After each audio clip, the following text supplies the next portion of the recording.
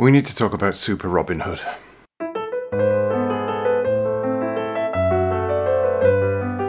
Robin Hood for the Amstrad CPC was designed by those cheeky little blighters, the Oliver twins. It was, in fact, their first big success with Codemasters and earned them a pretty penny. We showed them the game, they really liked the idea of Robin Hood.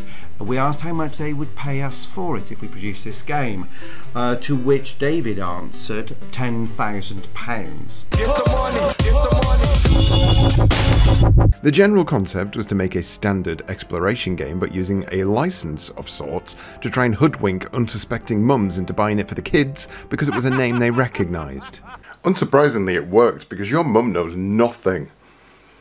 Sorry, that's harsh on your mum. She's an angel. It didn't take long for the game to get ported across to other systems, and thanks to Mark Baldock, James Wilson, and David Whittaker, we here in the land of the ZX Spectrum managed to get our hands on a game we'd not really been waiting for.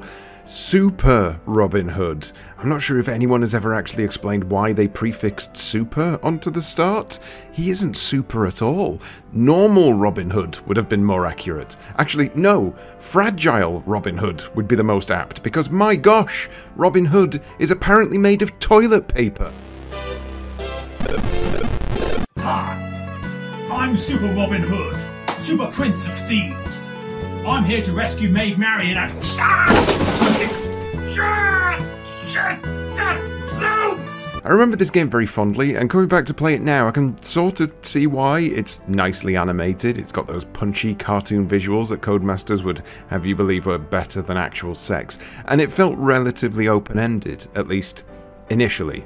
By open-ended, I mean you could go that way, or you could go that way. That's a lot of options in 1987. The overall goal here is a fairly simple one. You're tasked with not dying, which is easier said than done, but in the process you'll need to explore a massive, convoluted castle in order to collect the various hearts hidden away in alcoves. You collect these hearts in order to save Maid Marian, which makes absolutely zero sense, but it's fine. Get heart-shaped MacGuffins to save woman from a naughty sheriff. Fine.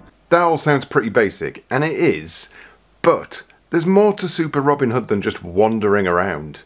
You also have to pick up keys and then wander around again. Keys in this game are everywhere, and you need every single one of them because every single one of them activates a lift somewhere.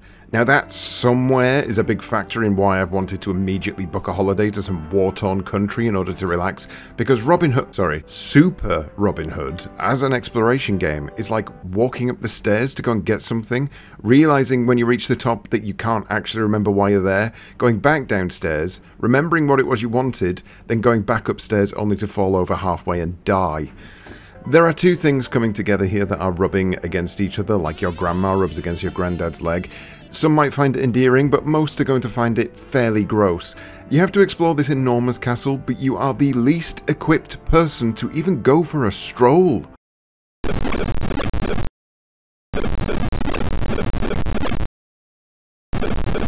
I'm Super Robin Hood, Super Prince of... Damn it, that really hurts! Robin takes damage from enemies, but he also takes fall damage, and sometimes he takes that fall damage from a slightly awkward angle. The health meter at the bottom happily chirrups away every single time you so much as think of something mildly dangerous. Meanwhile, you're just trying to work out which way you're supposed to go. This is the map for Robin Hood. It's not a small map by any means, and it's designed in such a way that you will absolutely get lost. I can't count the number of times I thought I was going the right way, only to be confronted with a dead end and realise that it was one of the 12 other ways that I should have gone. In the meantime, going anywhere accrues damage, because some sections are just designed in that it's impossible not to take damage. Whichever one of the Olivers decided this was a good idea is officially the evil one, and if they both came up with that idea, then I'm afraid we're all doomed because these two are basically video game terrorists. I'm probably being slightly unfair. You can get health back from coins? It was a coins, right? Coins. You collect coins for health but not hearts. Coins! Oh, according to the instruction manual, those things aren't coins, they're unlabeled medicine? Just random pills floating around in a castle.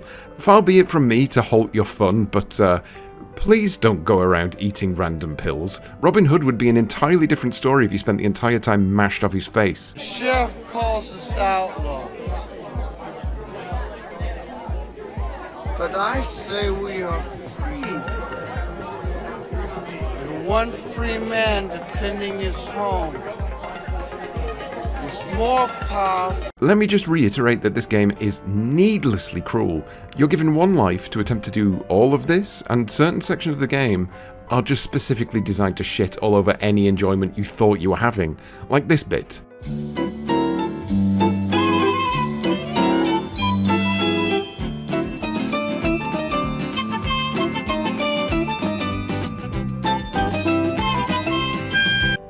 Bit. Let me go. Please. Let me go. or basically just the entirety of the last third of the game, because here's the thing you don't just need to get through these things once, you need to backtrack over and over and over again to the point where you've essentially explored the castle 45 times as you approach the end. But approach the end I did. I approached it. I approached it, and I found the damsel in distress herself. Shake it, baby.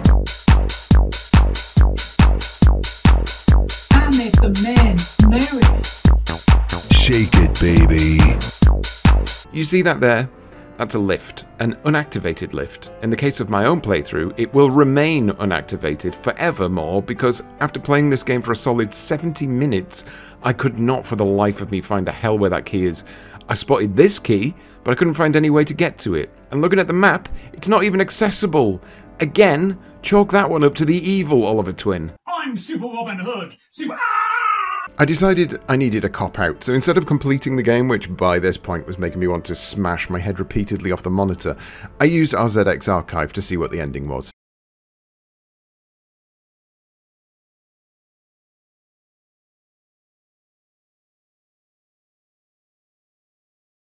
I've never felt so patronised by a line of text. Super Robin Hood didn't review particularly well back on release. It received 52% from Crash. Sinclair User gave it a 4 out of 10, and your Sinclair only mustered a 6 out of 10 score for the poor old thing. But despite all my complaints, there's still a fair bit to actually like about Super Robin Hood.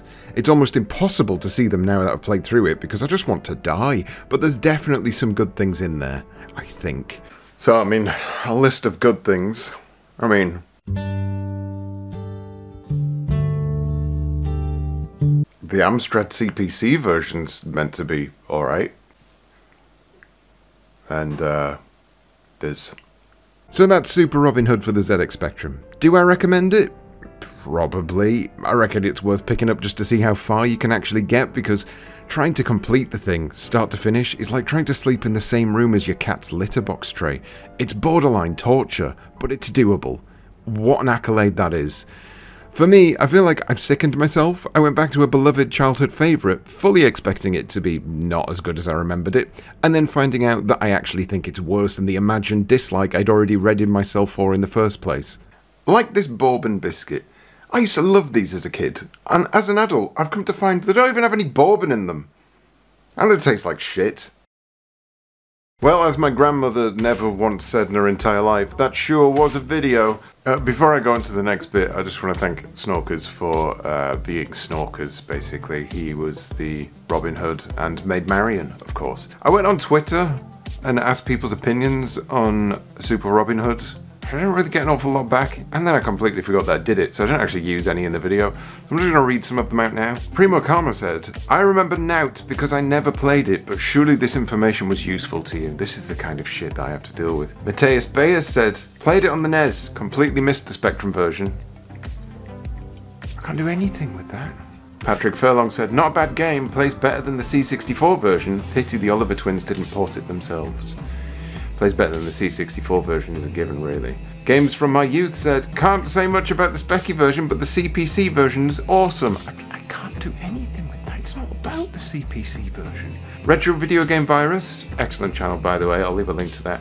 I played the shit out of the C64 version. Actually, he's Scottish, isn't he? Should I do it in a Scottish accent? I no, I can't. I, am not going to do that. I played the shit out of the C64 version when I was a kid. Loved it to bits then. When I play it now, I see it for what it is: a buggy, crappy, tacky, broken mess. But still love it because the nostalgia memories. Okay, so it's basically just summed up my entire video in the space of like a tweet. Tom Potter says, I loved exploring the map and gradually unlocking new areas. I've never enjoyed games that put you under artificial pressure, and I really appreciate that this game let you stop, think, and plan your next move. I finally completed it just recently. A cracking game. Well, I wish you were here right now, Tom, to have completed the game for me because I never want to attempt that again in my entire life.